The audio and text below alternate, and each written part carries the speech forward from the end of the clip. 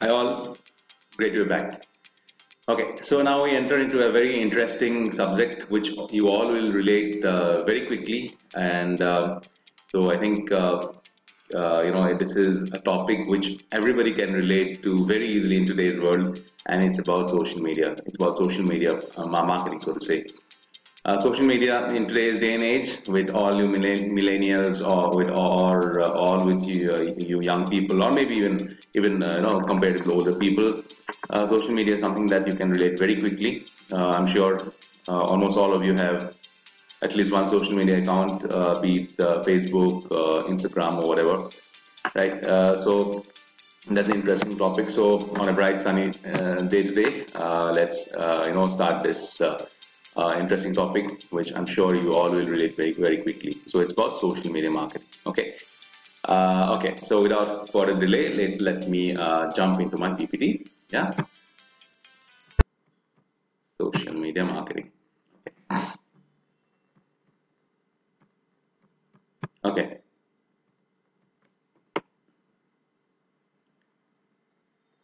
Yeah. So what is social media? Uh, what is social media first of all? Social media are interactive platforms on which users engage through electronic services, right? Users create highly interactive platforms through which individuals, communities, and organizations can share, co-create, discuss, participate, and uh, modify user-generated content or self-curated content posted online, right?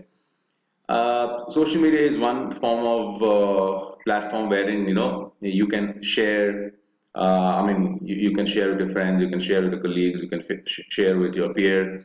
So it's very much shareable. The content that uh, you create or the content that is uh, you know generally created for the users, and it's something that that is very strong because you know it's something that's very live, right? Live uh, in nature you you post something on facebook for example or you post something on twitter and it immediately reaches your audience right? And that same thing can be shareable like, like uh, you, you uh, like in twitter for, for, example you can retweet it re retweet uh, somebody else's message and it just gets viral. Uh, somebody else's tweet so to say and it gets viral. Likewise you can uh, share your own post with uh, with with, uh, with other people with other audience then that same audience keeps on sharing it. So it's very well shareable and it and it becomes big in nature that way right? Uh, so how we use social media sh should be uh, should be something that we should really be very uh, uh, you know careful of in terms of its usage the way we use it the and so when you're using it for you know for our own organization, so to say, we should be very careful. We should be uh, responsible, so to say. We should be using it in such a manner that you know it is, uh, so to say, in a way uh, helpful to the organization and uh, to us also in the long run, right? Okay, now there are two social media uh, uh, contexts here. One is paid social media and one is organic social media. Now, what is paid social media? Paid, uh, uh now, uh, now uh, often you know it is asked that which is uh, which is the better form of uh, you know social media, whether it's paid social media or organic social media. Well, it should be hybrid, so to say.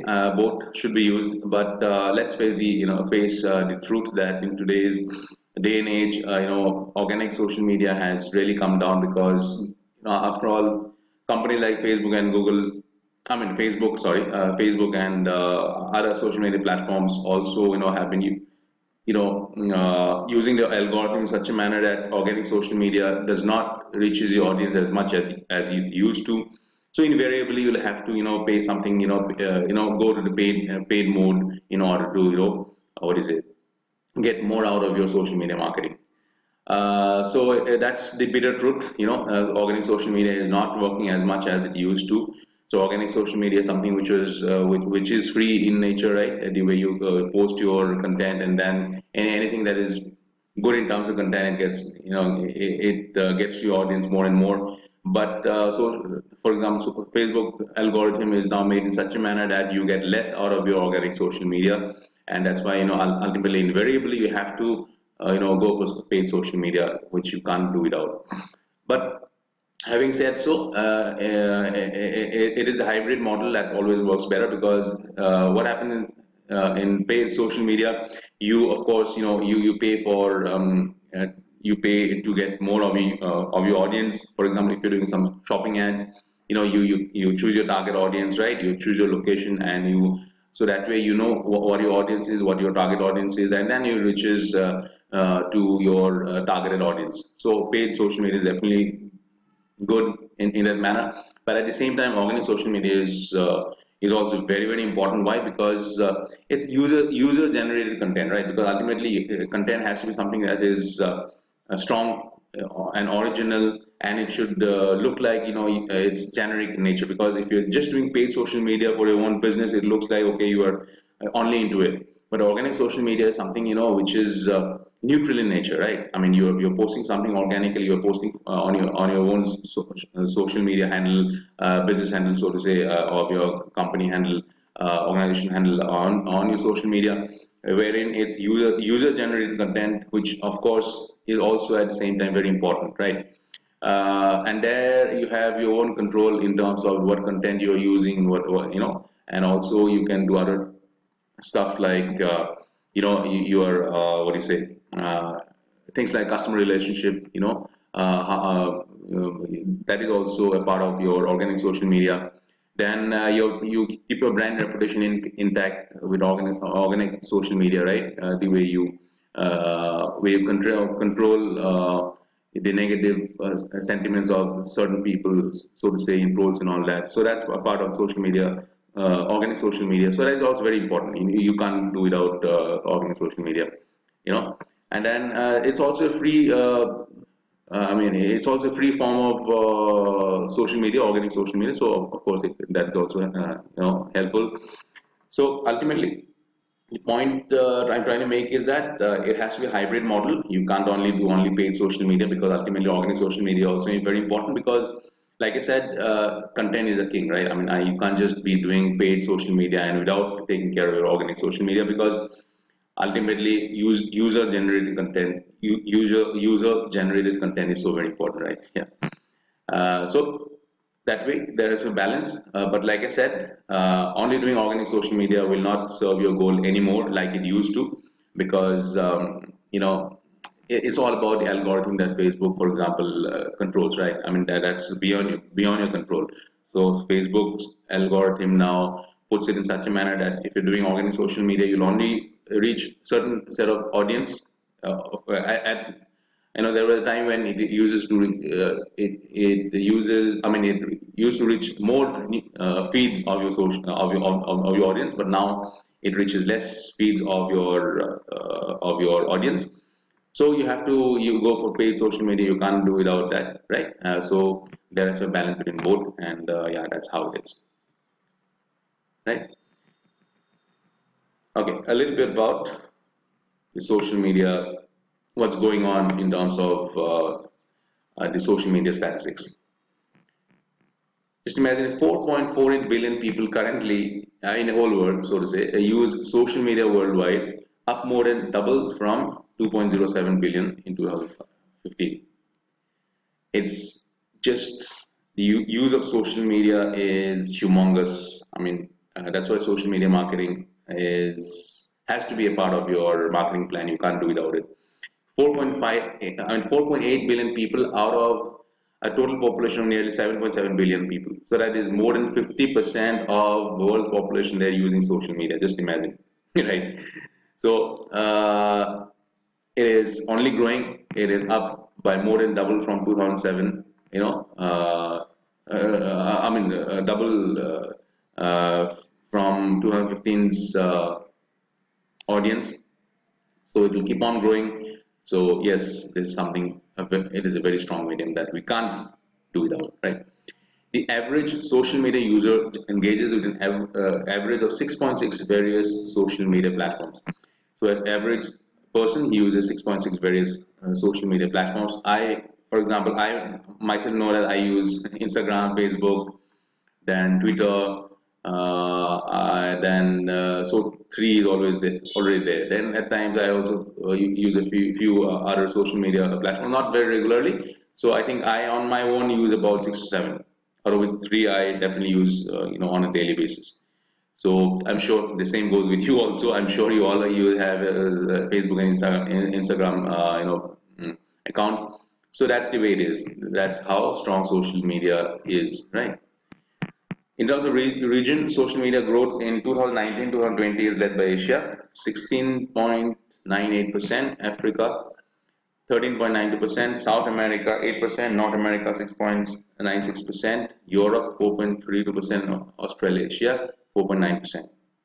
So this is the growth that we're looking at, right?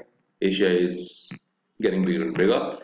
Now out of 4.48 billion social media users, 99% access websites or apps through a mobile device with only 1.32 accessing platforms exclusively via desktop.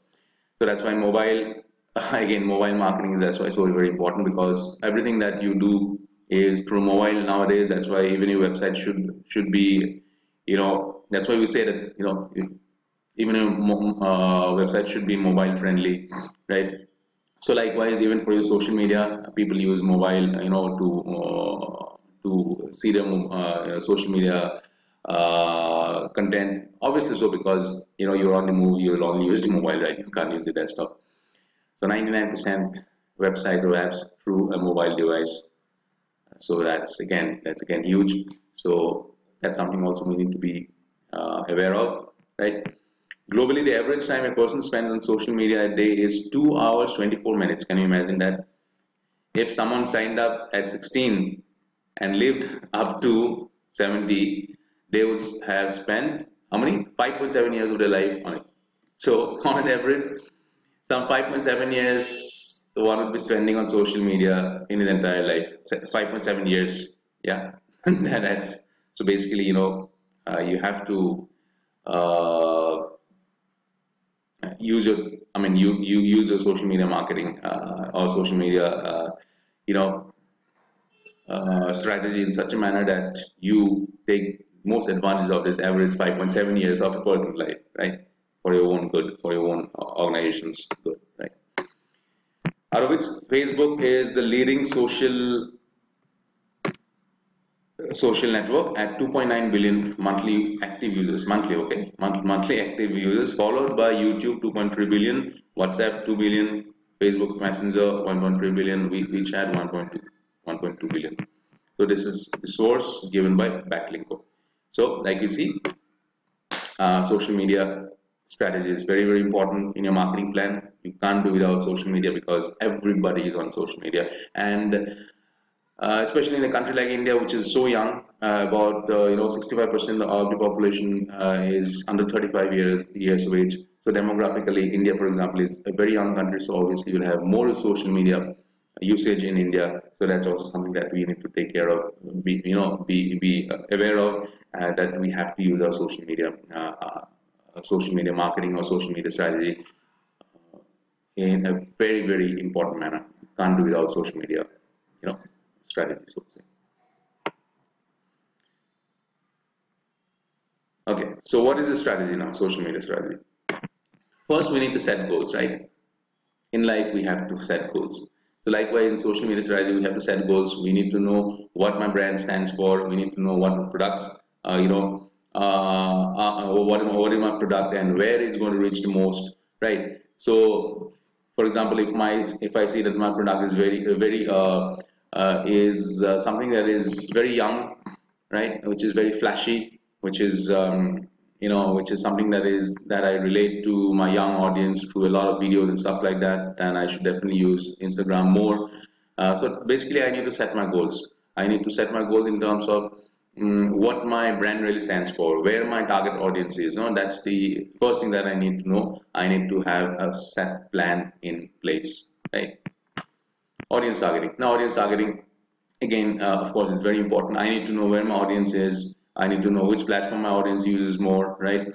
Uh, so likewise, uh, so when I'm talking about audience targeting, uh, we only already saw you know how we create a uh, audience persona basically. So here also, I, when I'm doing audience targeting, I need to have uh, in my mind as to what my audience really stands for, where my audience is, right? Which network my audience will be more.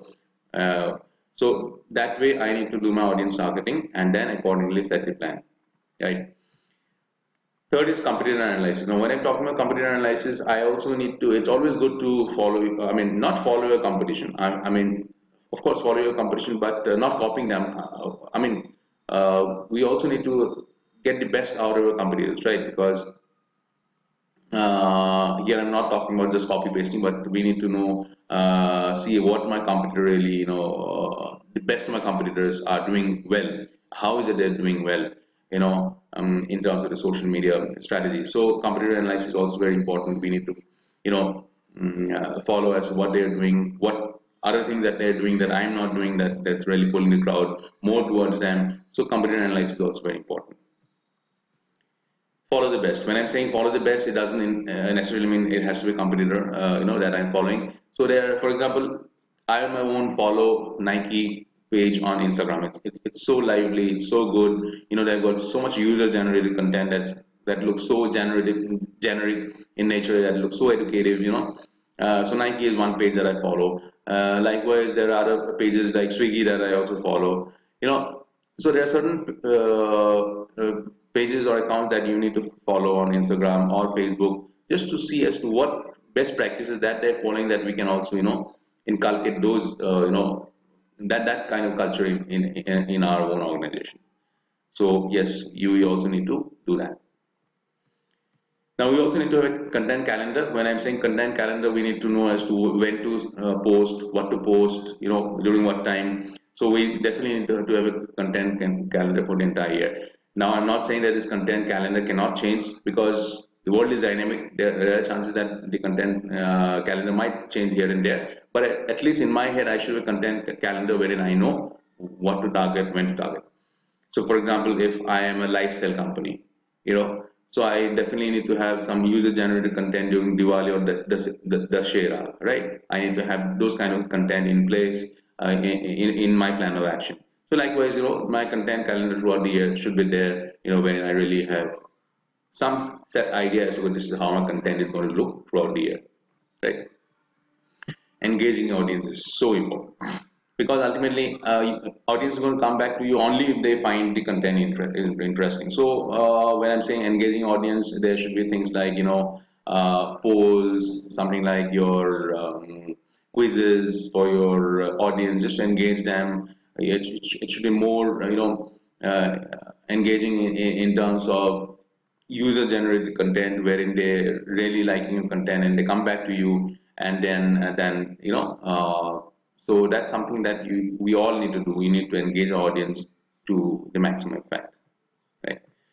Generic education content now, when I'm saying about when I'm talking about generic means it should be educative. You know, it shouldn't be like you know I'm just trying to push my own uh, my product and service every time on Instagram handle because people think that okay this and this handle is uh, too biased towards the own product. I just if I just keep on talking about my own product, okay, this is this, this is that, this is the best, this is the best product, you know, then uh, people will at times get so to say finding monotonous or maybe boring also at the same time. So for example, when I've got uh, uh, something like a lifestyle company, okay, uh, I'm in uh, company account. So it should be like I'm only talking about my own sari, own t-shirt, right? So I should be uh, using content that is educative at the same time. For example, what fabric is used in what, which part of the country, you know, uh, how this fabric is that we get. For example, if I've got silk sari, uh, silk sari, I shouldn't be only talking about one product. I should be talking about how this this silk is, you know, how, different uh, types of silk are used in different uh, parts of the country. For example, you've got uh, Kanchipuram in, uh, in Tamil Nadu, you've got Mysore silk in Karnataka, you've got uh, something like Muga silk in Assam. You've got so many different silk. you know, in, in entire part part of part of India and each silk sari is so beautiful in its own nature. So we need to uh, post content on that rather than talk only talking about my own silk saris that I have in my shop or in my own you know online kitty so to say. So it should be educative it should be interesting it should be generic it should be neutral. You know it shouldn't be only talking about your own products and services. Of course you have to do that but you know eh, we have to have, see that balance also where I'm not only talking about my own thing but I'm this I'm that you know that should be the case right so that's about it, uh, my friends. Um, social media goes without saying, it's an indispensable uh, medium uh, of marketing that you cannot do without. You have to be, uh, you know, on your toes every every day because it's dynamic, like I said. Uh, you have to, you know, create a strategy around that. And uh, yeah, the good thing is that we all have some social media, you know, a platform that we're already using, and you just need to enhance it through your social media marketing, you know. And I'm sure you all will do a good job around that. Thank you so much again, and yes, see you soon again.